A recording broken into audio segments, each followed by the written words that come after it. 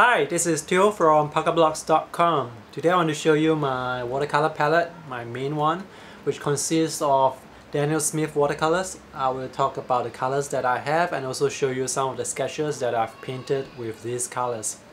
So let's start. Daniel Smith watercolors are sold in 15 ml tubes like this. They are also available in the smaller tube forms in 5 ml. Uh, you can buy all the tubes separately individually or sometimes they also come with specialty sets that you can buy. For example, this one is from the PrimaTek set which they created from uh, precious gemstones. Uh, when I first bought this, I also bought an empty watercolor palette box. So uh, this palette box has uh, space for 12 pens. The pens are empty, I just squeeze the pins into the pen. Each pen is about 2 ml in capacity, so I can fill the pens about 7 times with uh, the large tube. It's quite economical in the long run uh, if you do it this way. But one thing to note is that some colors uh, they do not reactivate well with water, but all the colors here work very well. The odd one out that I know of is Viridian, so avoid that color.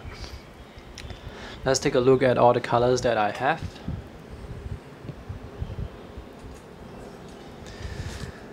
Um, the colors that I choose, I chose it in um, a theme which has a warm and cool version of each uh, primary color. So we have lemon yellow, new gamboge is the cool, is the warm, quinacridone red, quinacridone magenta, French ultramarine, phthalo blue, sap green, permanent brown Italian burnt sienna. Uh, this one is also French ultramarine almost used up.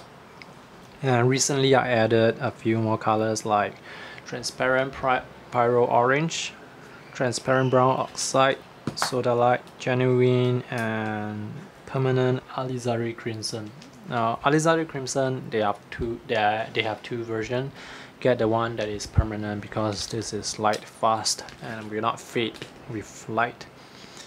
Initially I also bought uh, Viridian um, but as I've said Viridian is a color that will turn into a hard rock when it's when it's squeezed out into the pans like this. And after it becomes a rock it's very hard to re-wet it and use it again. So now I will have switched on to switch to um, phthalo green.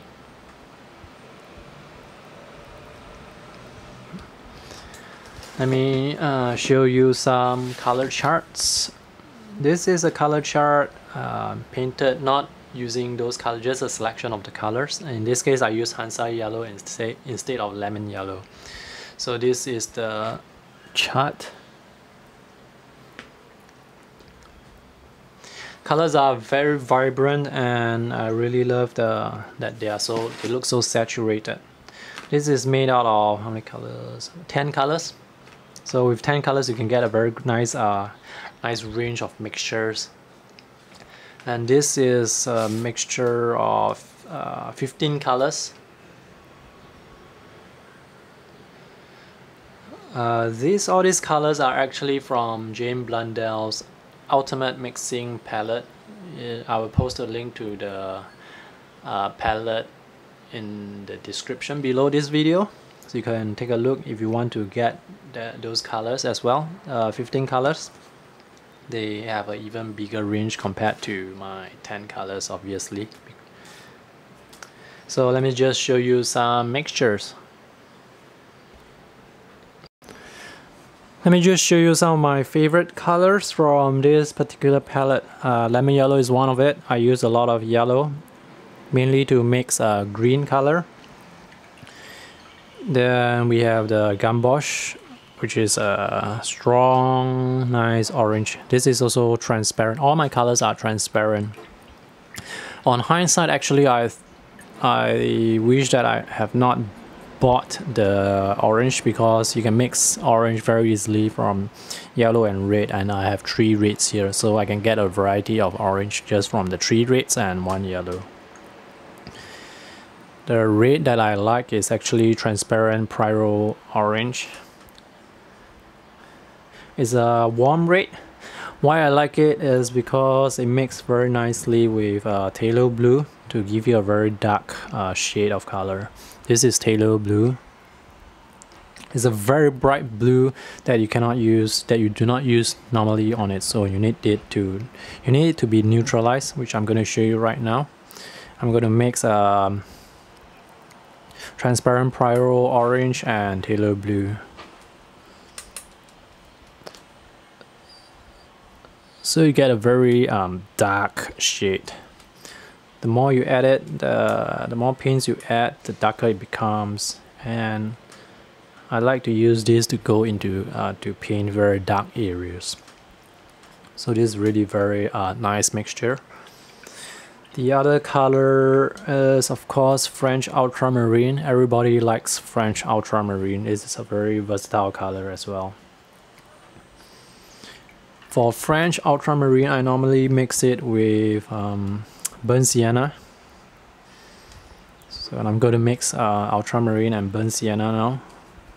This will give you a, also a very nice uh, gray color as well. I like to use this for clouds you can just adjust how much ultramarine there is to determine how how moody you want the clouds to be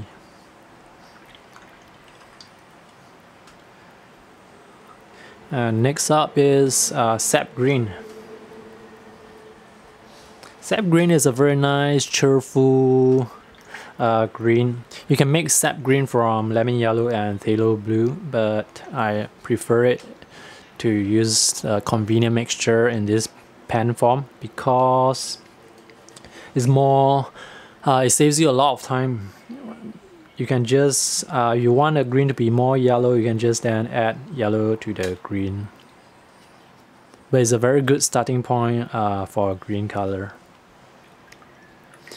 the other green that I like is um, phthalo green uh, in this case, this Phthalo Green is actually from Winsor & Newton. I do not have the Daniel Smith Phthalo Green. I'm trying to use up this one from Winsor & Newton currently.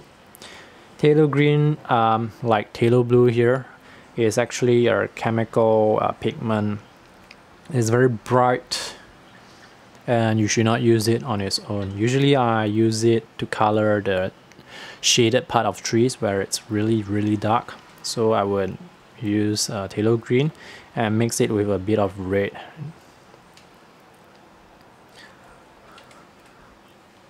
so I can get some really um, dark darks just to paint the underside of the trees. Italian uh, this is burnt sienna.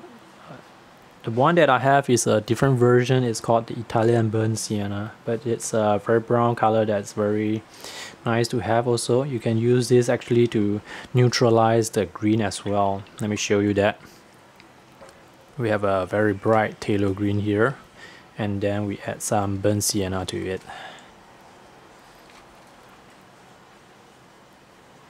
Oops not enough.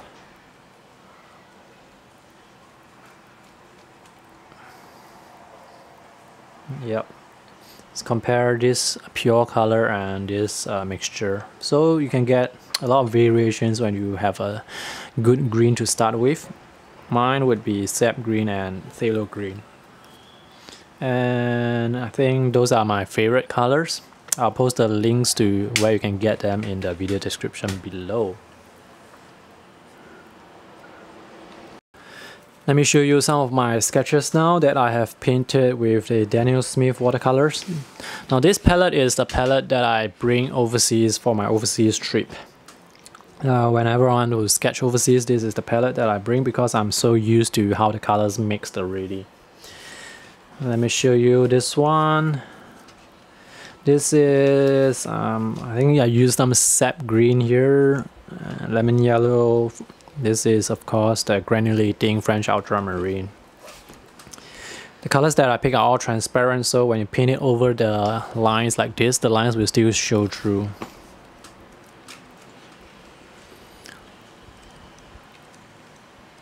Shoot.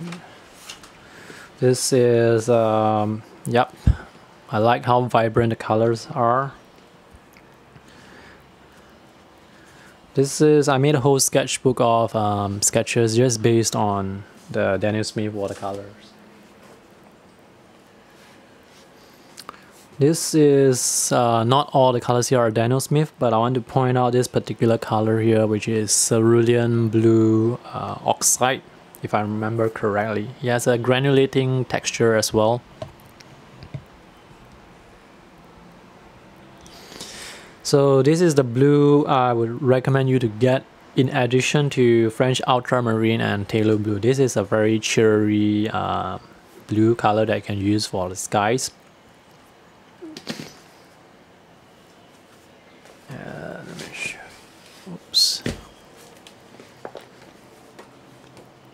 These are sketches that I drew in Bali or using Daniel Smith colors as well.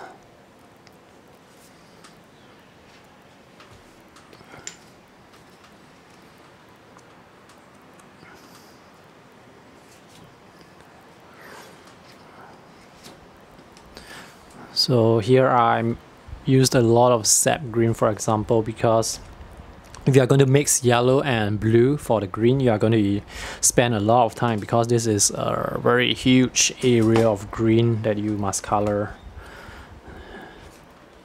Again here as well I saved a lot of time with uh, the sap green. And then for the darker areas I just use phthalo green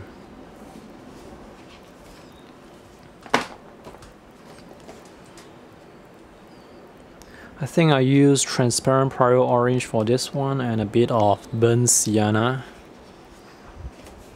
Yeah, this is a market scene, phthalo blue and some of the colors which I cannot remember exactly because this was painted two years ago.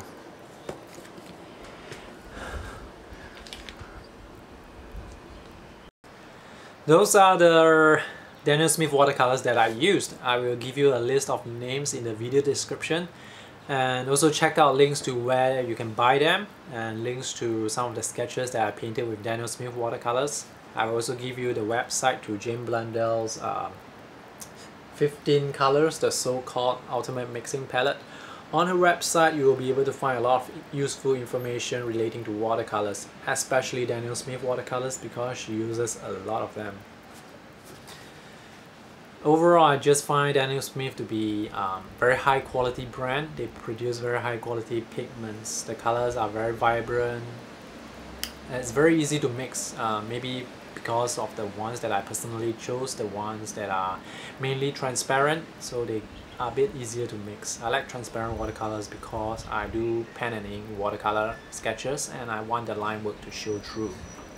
That's where the transparency uh, helps and that's all for today's uh, video and review if you have any questions just feel free to post them in the comment section below and remember to subscribe to my YouTube channel because I'll be posting more art product reviews, sketching videos and sketchbook features. Thanks and have a nice day.